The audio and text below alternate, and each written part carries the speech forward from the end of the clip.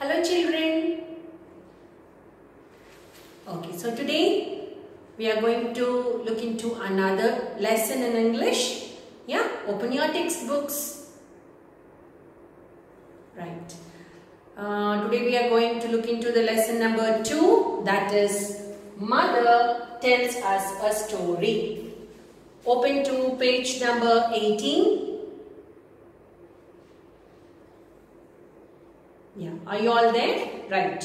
So let us look into the story. Mother tells us a story. So this story is generally like how did these uh, uh, stories come into existence? How did our grandparents, great grandparents and ancestors, how did they start telling us stories? Okay, basically this it is a folk tale. Folk tale is a story which is being taken from the uh, villagers or the village people. That is called as a folk tale. Okay, uh, this folk tale goes from the country Africa. Okay, now let's see what the beautiful story is about. Page number 19. Mother, tell us a story. Mansa's children said when they sat around the fire at night.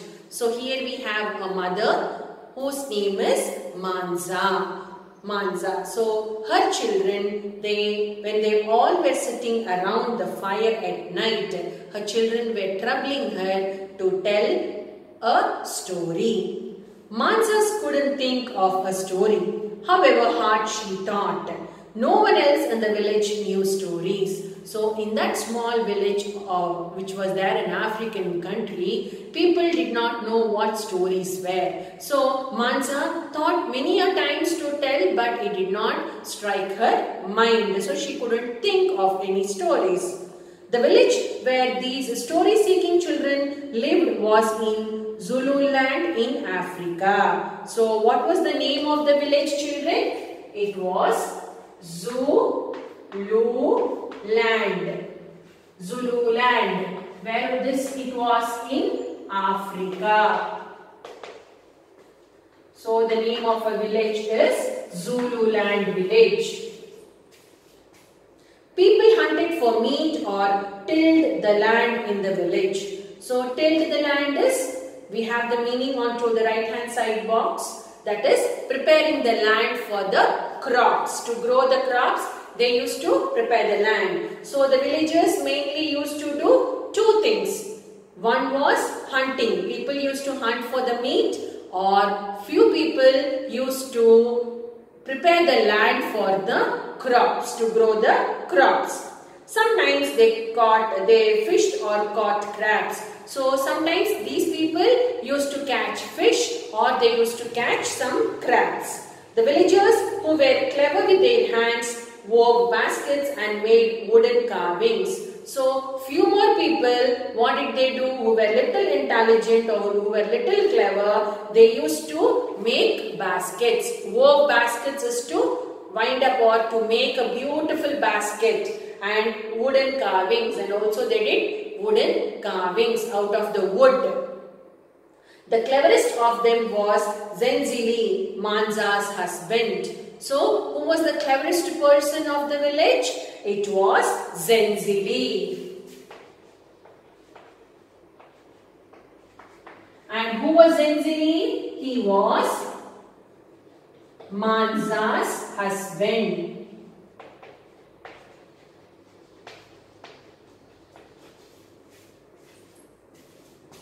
He carved birds, trees, plants, flowers and animals. However, he knew no stories. So, what work did Zenzili used to do in the village? He used to carve birds, trees, plants, flowers and animals. He used to carve them. Carve is to make, uh, give a good shape for the wood. But he never knew any stories. Still he used to do the carving.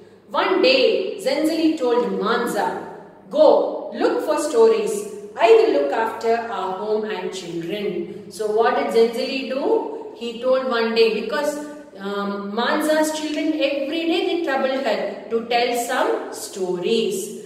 uh, stories even Manza did not know nor Zenzili knew. So what did Zenzili tell? Okay Zenzili, now you go. Go and look for the stories. Maybe they thought it is available somewhere. So you go and go in search of the stories.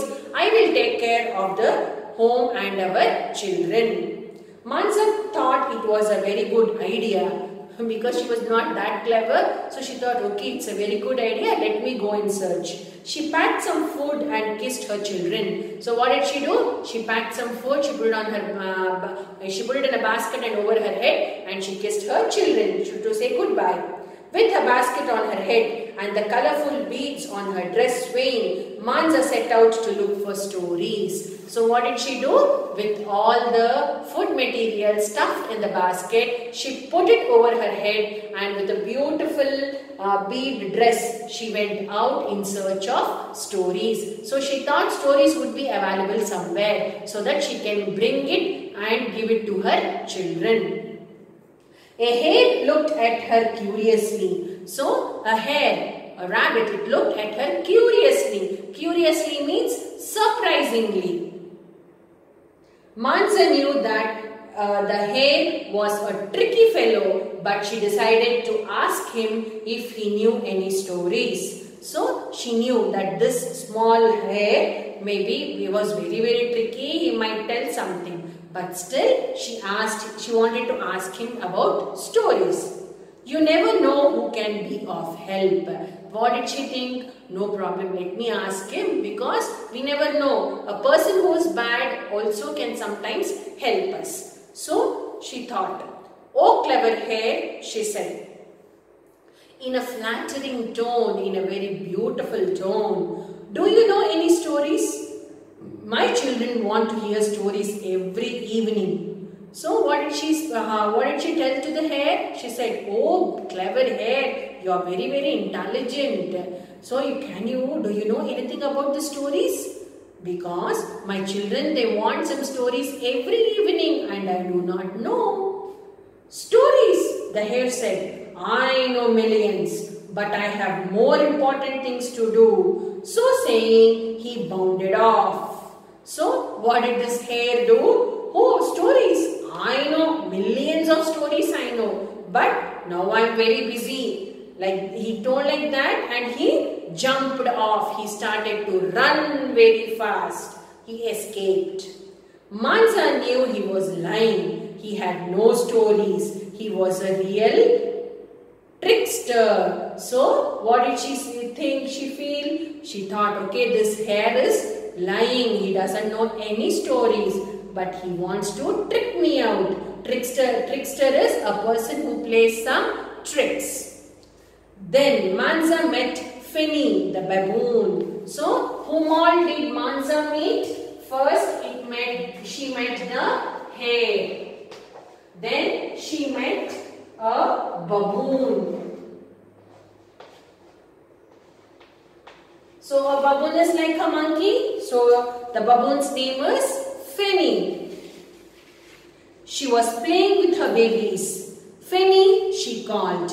Do you tell your kids stories? So it was asking, she was asking Fanny, Fanny, now you are with your children, no? Do you tell any stories to your children? What are stories? asked Fanny. So Fanny did not know. So she said, what, what, what are you asking? What are stories? I am busy keeping my babies fed and warm. I have no time for anything else. So what did Fanny say? Babre, I am much bothered with my own children. I have to feed them and I have to keep them warm. I don't know anything about stories. Shying, Maza went on. Manza went on. So she put a frowning face and Manza, she left the place. She saw an owl in a wild big, wild fig tree. So then the third person whom Manza met was a, was an owl. Okay, so this big owl was sitting on a very wild fig tree. Oh owl, she called, do you have any stories for me to take home? So she was asking the owl, do you have any stories so that I can take it to my home? The owl was upset because her sleep has been disturbed. So owl got very angry. Why? Because the owl was happily sleeping and Manza disturbed her sleep. You woke me up for stories? She hooted. Now underline the word hooted children. Hooted means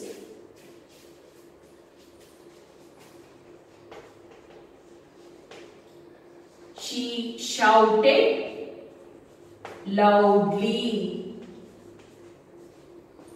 So, write down shouted loudly. That is the meaning of the word hooted. Humans cannot live in peace and are always looking for something. So, she started to shout saying that you humans, you can never live in peace. You are always behind something you want. You are always looking for something else. She grumbled as she settled down and began to nod off again. So, again, so she uh, shouted, she hooted all these words, she shouted at the uh, woman Manza and then she went off to sleep again. Manza walked on sadly. So, she did not get even the answer from owl. So, Manza started to walk very sadly.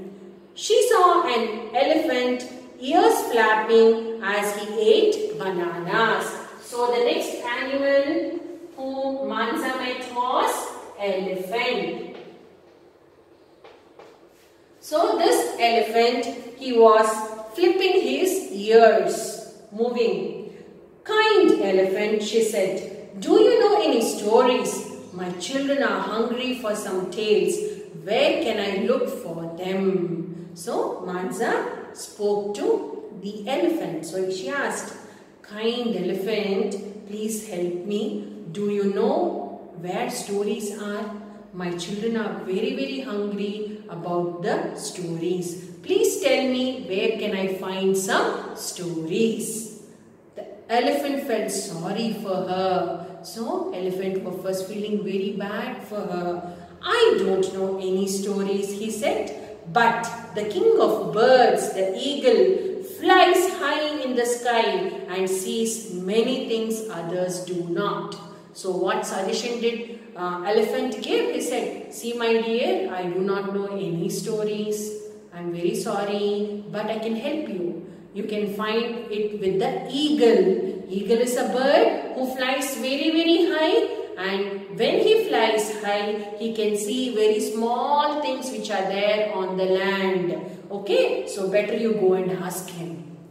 That's a good idea, Manza exclaimed. Thank you. So Manza said, oh, very good idea, Mr. Elephant, and I thank you for your nice suggestion. Manza saw the great fish eagle near the mouth of the Tugela river swooping down from the sky, talons outstretched to grab a fish. Now, what did, whom did uh, Manza meet? The next uh, thing whom she met was, it was an eagle. So, where the eagle was? The eagle was moving high up over the Tugela river. It was swooping down. Swooping down was coming down all of a sudden to grab the fish. Oh great eagle, she said. So Manza said to the eagle, Oh great eagle. Startled, the eagle dropped the fish he had picked up. So startled means shocked. Come on, underline the word startled startled means shocked. It's a sudden shock. So the eagle was in a sudden shock and when due to that shock what did he do? He dropped down the fish he caught in his um, beak. Wait, wait. Huh. Fish he picked up. He landed on the shore near Manza what do you want? He asked. So he dropped the fish and he landed on the land where Manza was standing. He said, What do you want? Oh great and wise eagle, Manza said. Flattering for the eagle was a vain bird. My children are hungry for stories, but we have none. Do you know of any that I can take back to them? So the same question even was posed to or was asked by Manza to eagle. So she told, my children are very hunger with the stories. I do not know any story. Can you please tell me where can I get the stories? Well, the eagle said, feeling important. Wow, somebody is asking me something. It's very important to me. I am wise, but I only know of things on earth. There is one who knows the secret of the deep, dark ocean. Perhaps he could help you. I'll try and call him for you. Stay here and wait for me. So Manza waited for the fish eagle to return. So what did this eagle say? Okay, you are asking me. Let me tell you. I'll give you one nice idea. I know only the things which are there on the earth. But underneath I do not know. So you have to know the secrets which are there in the deep dark ocean. So I'll uh, ask somebody to come and take you, my friend to take you to the deep dark ocean. Here I am, the eagle said. I have brought my friend, the big sea turtle. So, again, whom did uh, Manza meet? Eagle, he introduced the big sea turtle. He has agreed to take you to a place where you can find stories. So, Eagle said, see my friend, Mr. Turtle has agreed to take you down to the sea where you can get many stories. The great sea turtle lifted himself out of the ocean and said in a deep voice, Climb on my back and hold on to my shell. I will carry you to the land of the spirit people. So, what did the turtle say? Come on, come on Manza, you come and sit on my back and you hold my shell very tightly. I will take you down to the land of spirit people, very great people. Manza took hold of his shell and they went into the depths of the ocean. Manza's eyes grew rounder and rounder as they went deep into the ocean. So the turtle took Manza into deep into the ocean. How she was feeling? Her eyes grew rounded and rounded when she was going into the ocean. Everything was amazing and beautiful and unlike anything on earth. Yes, so we see so many beautiful things around us. But can we see the beautiness which is there under the ocean? No, we cannot because once we jump into the water, if we don't know swimming, we will die. Okay, but in this story, this turtle helped Manza to take her deep into the ocean and underneath the ocean there were so beautiful things that was present. Finally, they came to the bottom of the ocean, the dwelling of the spirit people. So, where did, uh, whom did uh, Manza meet? Finally, where did she came? She came to meet the spirit people, the sacred people who live under the waters.